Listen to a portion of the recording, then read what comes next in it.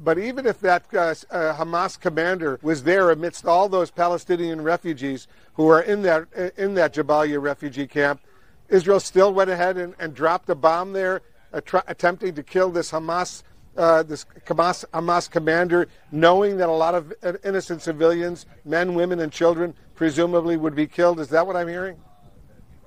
That's not what you're hearing, Wolf. We again were focused on this commander, again, who you'll get more data who this man was, uh, killed many, many Israelis. Uh, we're doing everything we can. These are it's a very complicated battle space. There could be infrastructure there. There could be tunnels there.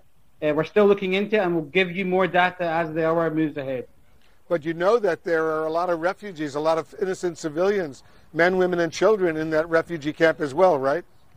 This is the tragedy of war, Wolf. I mean, we, as you know, we've been saying for days, move south. Civilians that are not involved with Hamas, please move south. Yeah, I'm just uh, trying to get a little bit more information. Uh, you knew there were civilians there. You knew there were refugees, all sorts of refugees, but you decided to still drop a bomb on that refugee camp, attempting to kill the Hamas commander. By the way, was he killed? I can't confirm yet. I'll, there'll be more uh, updated. He, yes, we know that he was killed. About the civilians there, we're doing everything we can to minimize. Uh, I'll tell it. I'll say it again.